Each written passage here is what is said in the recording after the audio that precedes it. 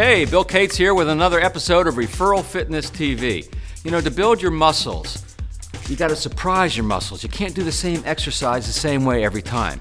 And to build client loyalty and to get your clients talking about you and creating word of mouth and referrals, you got to surprise your clients. You know, I've been looking into a little bit of brain research, and there's been research that shows when you surprise your clients in a pleasant way, it activates a part of the brain called the nucleus accumbens. Easy for you to say, Bill, right? And it's a pleasure center in the brain, and what happens is when you do that, it gets people talking about you. So, to build your muscles, surprise your muscles. To build client loyalty and create word of mouth and referrals, surprise your clients. Thanks for tuning in to another episode of Referral Fitness TV.